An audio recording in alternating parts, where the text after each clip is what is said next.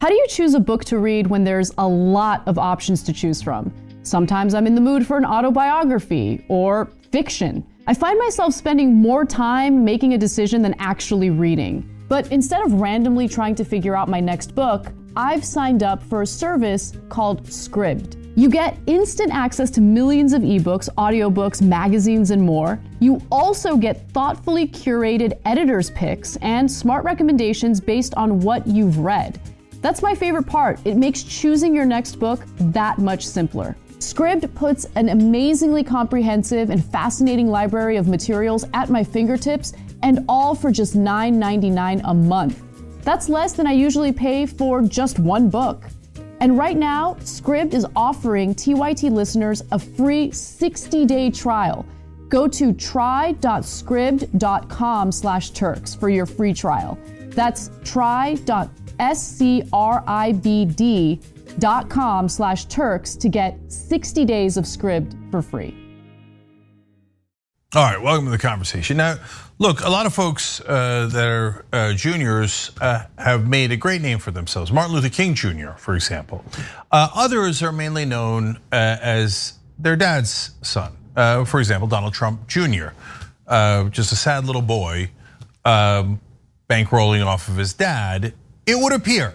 But is that really how Don Jr. rolls? Well, we're going to find out because someone wrote a story about that for the New Republic. It's Joe Rubin. He's an Emmy-winning, uh, Emmy award-winning investigative journalist. So this is good stuff, and it's actually a story I had not seen before, and I find it really interesting. So, Joe, welcome. Hey, Cenk, great to be here. Yeah, thanks for inviting me. Uh, no problem. So now you wrote in particular about a business deal that uh, Don Jr. was involved in is starting in 2012 and and I think you're right that it gives you an interesting insight into how Don Jr. rolls, as you guys mentioned in the article. And so let's talk about that deal. It was in South Carolina. Um, what was it about?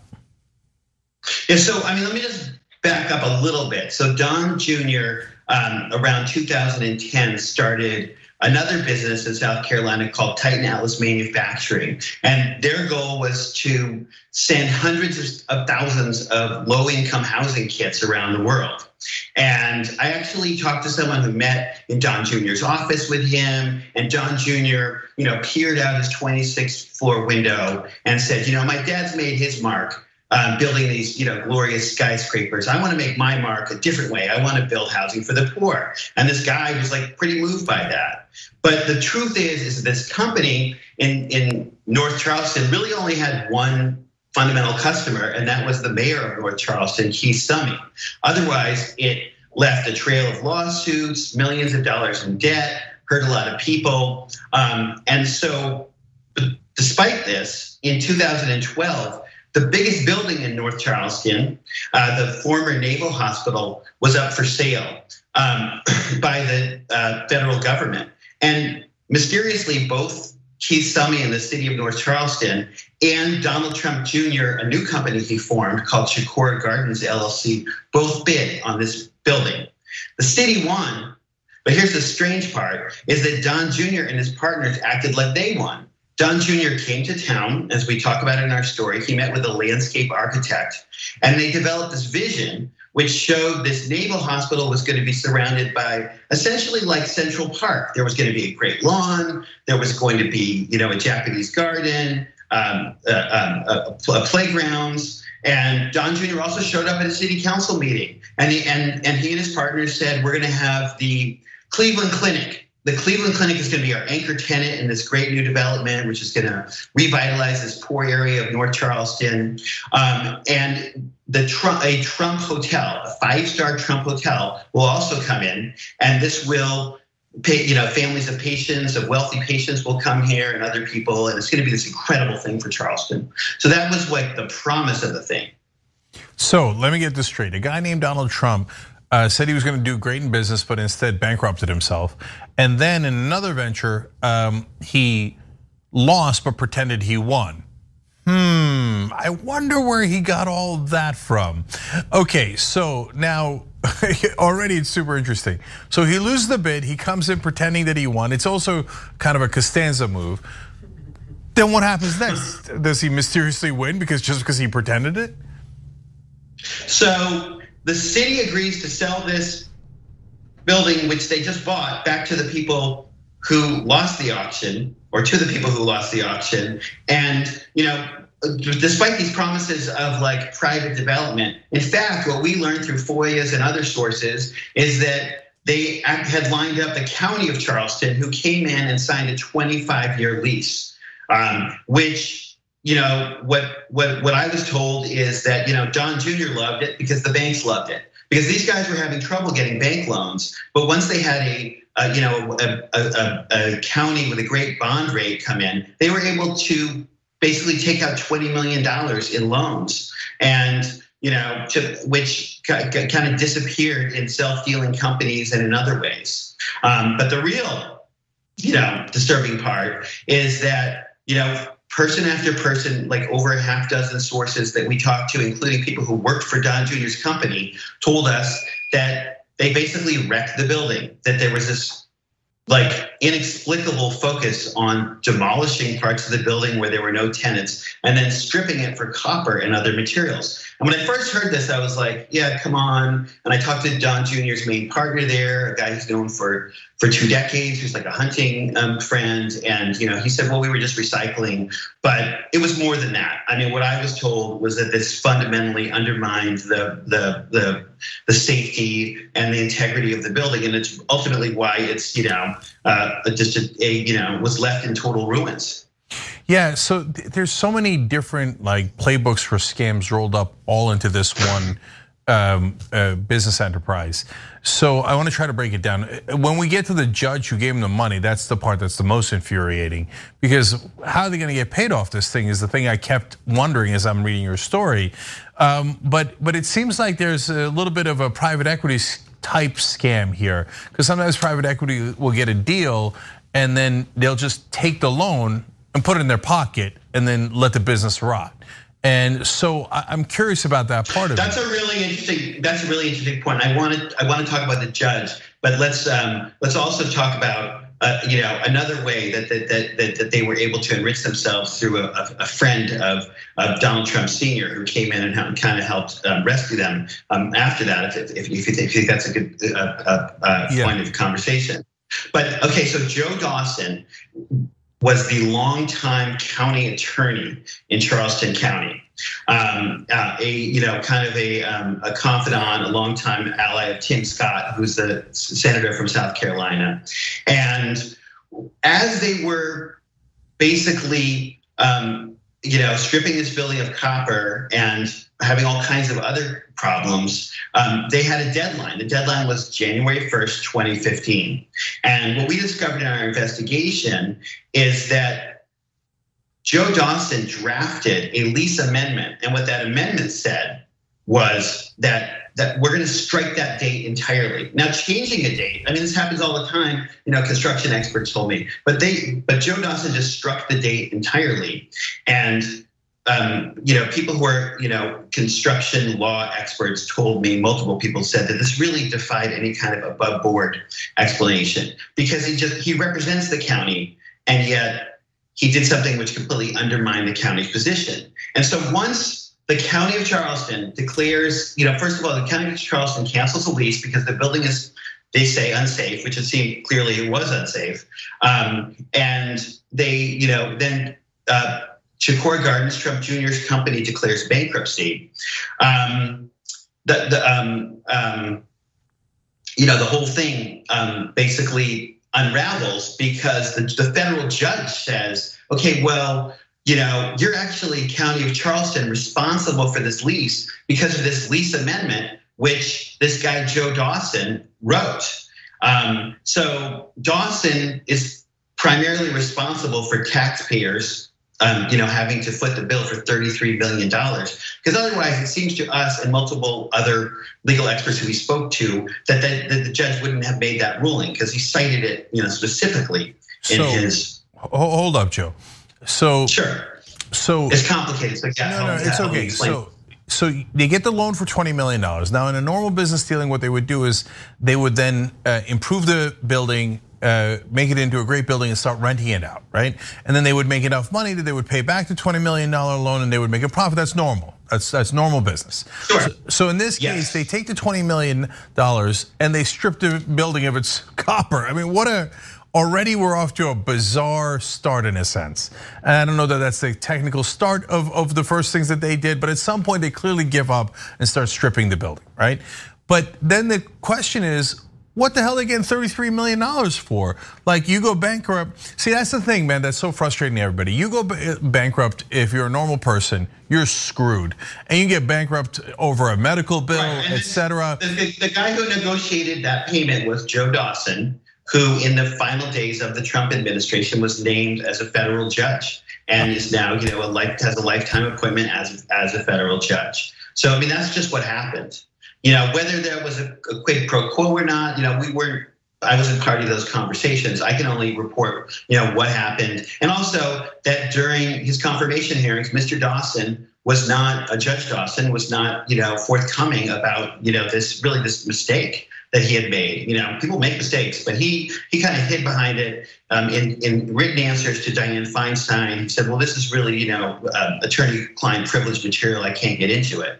But you know, I think he should have, at a minimum, acknowledged what it, what. Okay, so I so this federal judge is uh, now deciding cases is uh, to me my opinion is he's obviously a crook.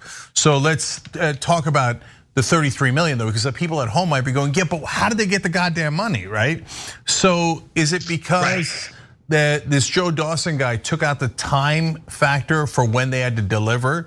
Then when it goes to an actual judge, the judge says, well, the leasing contract says that that you guys owe them money for the the, the government owes them money for the lease uh, in perpetuity. Basically, they never have to deliver, and so you Well, guys owe them just say thirty three something million dollars. Is that and then I mean, that's that's that's why we did the story, you know. And I did the story because as I spoke to people, I found that you know people were hurt here.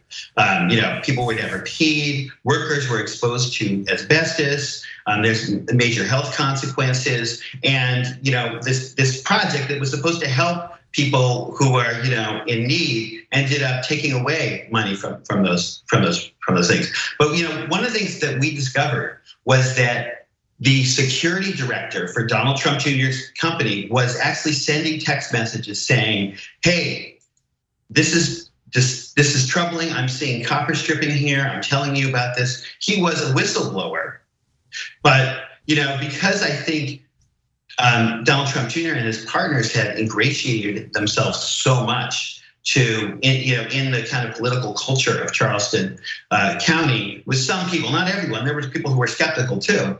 Um, I think that the, you know that this whistleblower was trying to you know call out this project and put a stop to it. Like his claims never even came up in this you know in this case. You know where where these guys got 33 million dollars. So right. I mean I think there's a lot of I, think the main point here is that there's a lot of questions that still I think need to be answered. I mean, I spoke to you know uh, you know former bid rigging ex- uh, prosecutors and experts, and they said there's quite a string to pull on here. Why were these people both still bidding on this? How did then it end up, you know, going to one party, then being sold, and then becoming a government project, which seems, you know, perhaps not the most sincere effort at uh, performing, you know, a, a needed construction project. Yeah. So um, I, Yeah. I think that there's that there's something further to investigate here, yeah. Um, as well Look. as to read our, our uh, great No. investigation, uh, New Republic, which I hope people will do. Yeah, everybody read the New Republic piece. We'll put the link down below.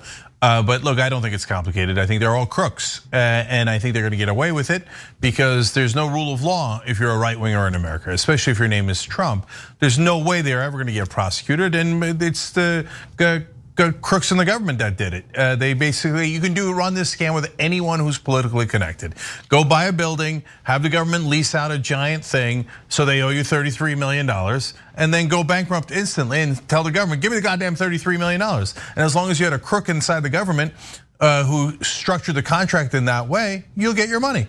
And so, um, Yeah, I mean, it's not my it's not my place to label you know people crooks or not. But what I can point out, I, I, you, that's you're right. Yeah, but I mean, I think what I what I would point out is that um, you know Donald Trump Sr. was actually you know I I mean he was involved in in Donald Trump Jr.'s efforts in in uh, in Charleston. We discovered this. Um, first of all, Don Jr. turned to a longtime confidant of his dad's, uh, Pam Newman, who's been uh, subpoenaed as part of the Manhattan District Attorney's ongoing investigation, um, and um, she helped make an argument, and Aon helped make an argument to undo a $1.3 million security deposit, which was supposed to protect taxpayers there. That money then went to Don Jr.'s um, company.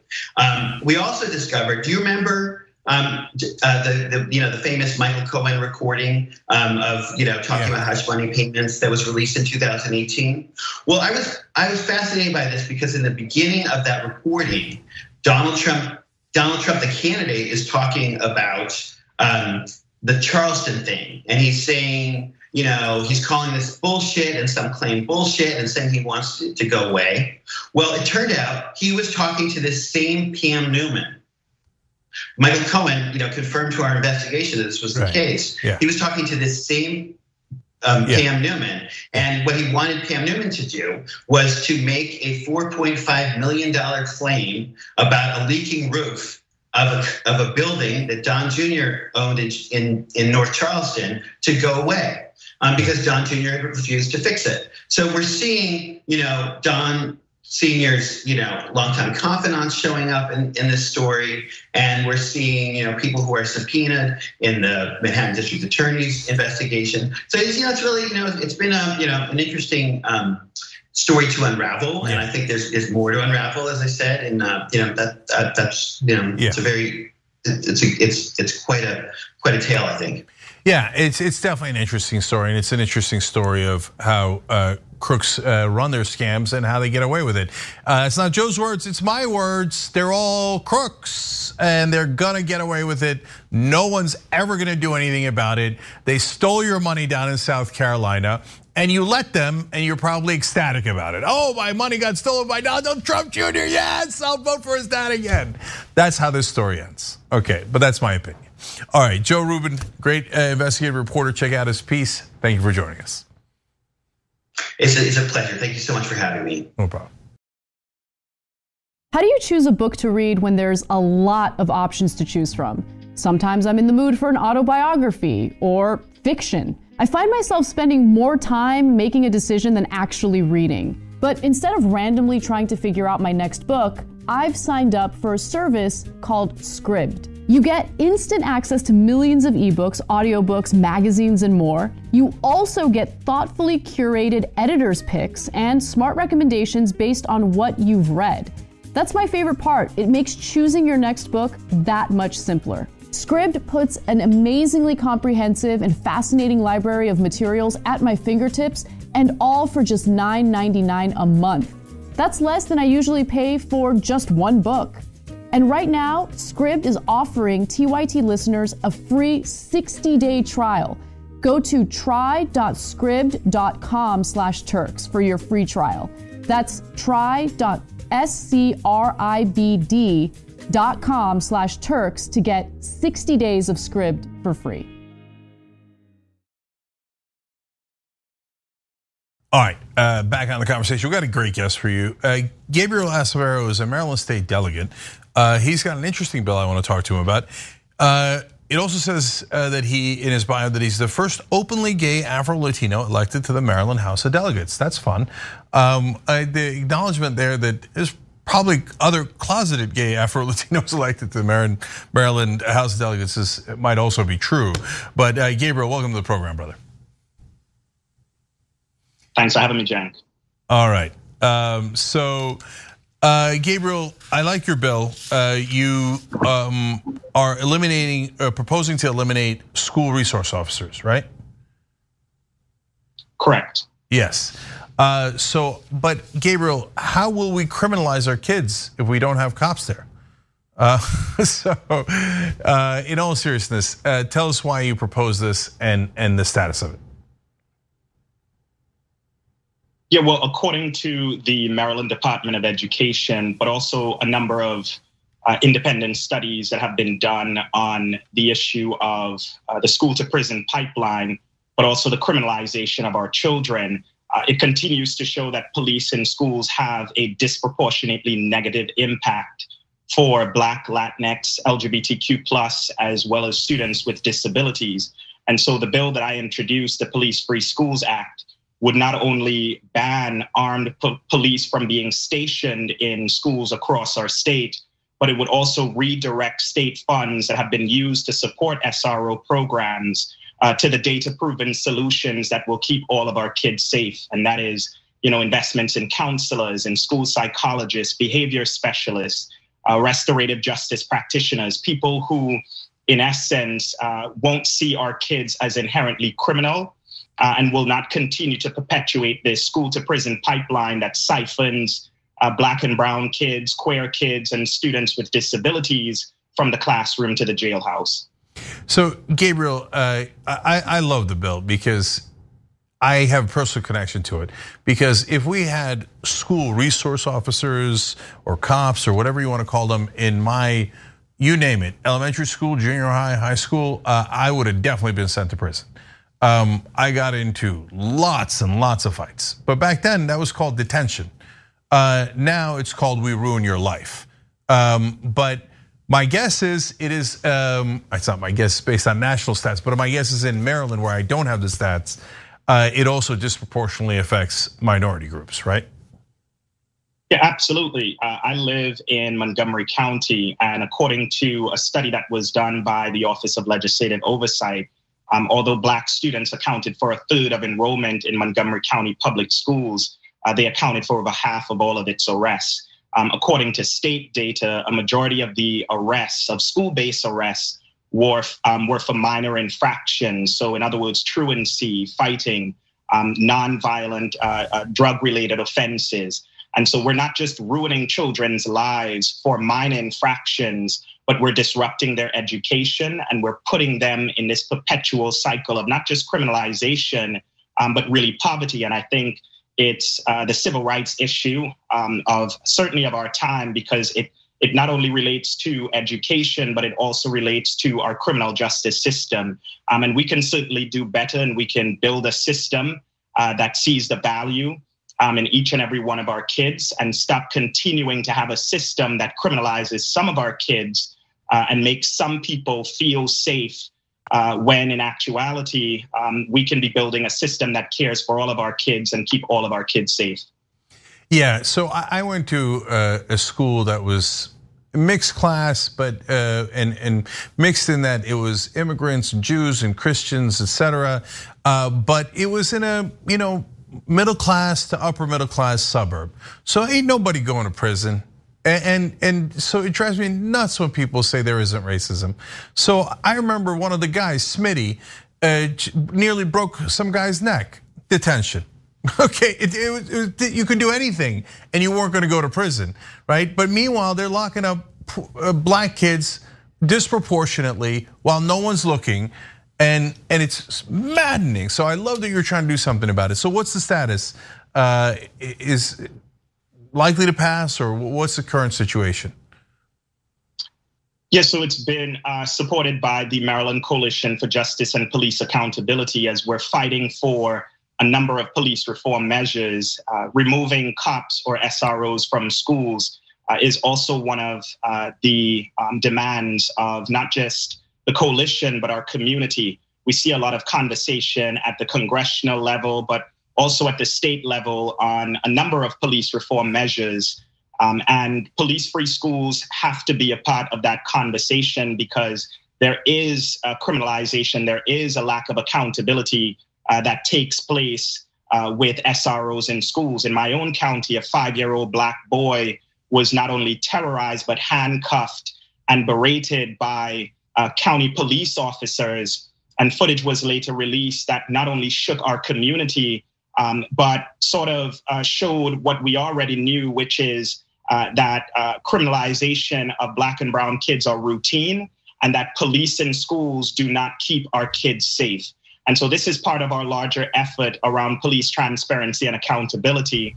Uh, you know, one of the bills, another one of the bills that I've introduced called Anton's Law, named for Anton Black, a 19 year old college athlete that was killed in police custody on the Eastern Shore right here in Maryland but also introducing a bill to end qualified immunity in state court um, and to root out white nationalism from law enforcement, which is also um, a systemic uh, and uh, historical problem. And so this is a part of the conversation. Um, it is a part of really the holistic conversation about police transparency and accountability uh, that you know extends from our streets uh, to the classroom and ensuring that we're building a future where black and brown folks can survive and thrive and where our babies can go to school and not be criminalized um, and their education disrupted. Right. So, but I don't know the Maryland House of Delegates and the overall uh, legislature house broken down. So, but I do know from the national level that it, just because you have Democrats in charge doesn't mean you're going to pass anything. Um, so they never passed anything. Uh, they just gave up on criminal justice reform. So what's the breakdown in, in Maryland? And if Democrats are in charge, does that really mean anything? Is it going to pass or not going to pass? Yeah, well, the Maryland General Assembly is democratically controlled. Uh, this past legislative session in 2021, we uh, passed a number of police reform measures uh, to include uh, a reforming, not repealing, but a reforming of the Law Enforcement Officers Bill of Rights, which is a state statute that Maryland was the first state to pass, that other states followed suit, that gives law enforcement officers um, these procedural protections and privileges that everyday Marylanders um, and everyday people like you and I do not have. Uh, we also uh, uh, passed a statewide use of force standard, a ban chokeholds, duty to intervene, and we set up a sort of an independent um, investigative and prosecutorial system for these kind of cases. Um, however, I was one of the few uh, Democrats um, that uh, believe that we didn't go far enough and that we could have and should have gone further. Um, I submitted a number of uh, amendments to include um, you know, creating a system where civilians would have greater oversight and control over public safety uh, another amendment to root out white nationalism, to end qualified immunity in state courts, similar to what Colorado and New Mexico have done, and Florida is currently debating that right now. And we see that qualified immunity is failing at the federal level with congressional Democrats. Um, but also, uh, as I mentioned earlier, the Police Free Schools Act. So um, while it is democratically controlled, we have not seen movement, but we're determined. And if it's one thing I know is that uh, the power of the people is greater than the people in power. And so all of the demands that we're calling for, we're going to achieve um, and ensure that Democrats are accountable to the very people who are impacted. The Democratic Party is so frustrating. They, they never mean anything they say. And so, I mean, even the other issue that you uh, uh, touched on there, cops' Bill of Rights, that's not the issue. Cops have plenty of rights. The, the issue is the people that they're killing and beating up. We got to get them rights. Now, I, get it. That Bill of Rights was probably passed a while back, and you guys are reforming it. That's a positive thing. But you should repeal it. Cops don't need more rights, extra rights. They already have plenty. Correct. That is definitely not the issue. And of course, Democrats at best with half measures, and it sounds like on your bill, they're not moving it forward. And I've dealt with Maryland before. We we try to get. Um, the Wolf PAC legislation through this to call for a constitutional convention to get money out of politics. And nope, uh, powerful people at the last second go, ah, well, we kind of like money in politics. Yeah, that's what we thought. Um, anyways, yeah, well, go well, ahead. What we know is that there can never be true justice, but there should be accountability. Um, and that's precisely why I've introduced uh, bills such as Anton's Law, um, uh, bills to end qualified immunity in state court, um, Police Free Schools Act, as well a number as well as a number of other measures. Um, and while we've seen some success uh, over my first term uh, in the General Assembly on police reform measures, there's so much more that we need to do. As you mentioned, we need to repeal. Um, and we did all but repeal the Law Enforcement Officers Bill of Rights. We need to set up a system where civilians have greater control over public safety. Um, and that's precisely why I'm running again for the Maryland House of Delegates, is because I recognize that we still have unfinished work of police transparency and accountability. Um, and Democrats uh, are accountable to my community, to uh, Black and Latinx voters who not only give them and, and, and, and uh, sustain their um, uh, uh, power both at the federal and at the state level, um, but our love language is policy and we need to move beyond performative wokeness and all of this, you know, progressive narrative and ensure that we're pushing through the policies such as the George Floyd Justice in Policing Act, even though I'd like to see it go a little bit further, um, but as well as the Breathe Act, which was um, proposed by the Movement for Black Lives that would reallocate funding from law enforcement to community infrastructure and social services. And the reason why that's particularly important, and I believe Democrats shouldn't be shying away from uh, this defund the police slogan, because that's exactly what we are calling for. Look, I serve on the Maryland House Appropriations Committee, and as an appropriator, we know uh, when we say fund, defund, or refund, we are in essence having a budgetary discussion. So let's talk about the numbers, right? Uh, Maryland as a state spends more money on policing and incarceration than we do on higher education. As a country, the United States spends around $110 billion annually on law enforcement, more than any other country spends on its military except for China. And so what we see is that we're no more safer, our communities are no more safer, and we're continuing to see instances of police violence. So we have to do something different and we have to look at the data. And what the data is showing is that we need to shift funding to the data proven solutions that will keep us safe, such as investments in housing, transportation, economic development, investments in our community and people, uh, so that we not only keep our community safe, uh, but we're addressing crime um, in a holistic way as well. All right, look, I am, we're out of time, but I'm going to address the last thing to the audience. Look, guys, don't get discouraged. There's wonderful young progressives like uh, Gabriel out there, and he's fighting the good fight, and we're going to eventually win. Uh, so we all get frustrated by old corporate Democrats uh, that are intransigent and and seem to lack any fire and don't want to take action. But Gabriel, when you talk about the love language, my uh, wife's a therapist, so I know exactly what you're talking about. And, and it's exactly right. Our language is policy. We don't care about your rhetoric and we don't care about your political theater. Pass the damn bills. Because if we don't pass the bills, we haven't helped anyone other than ourselves, by the way. And so, so I'm not interested in politicians trying to help themselves. I'm interested in people like you that are actually trying to pass bills. So thank you so much for joining us. Thank you for being a delegate and for fighting for the right things. We appreciate it. Thanks, Cenk.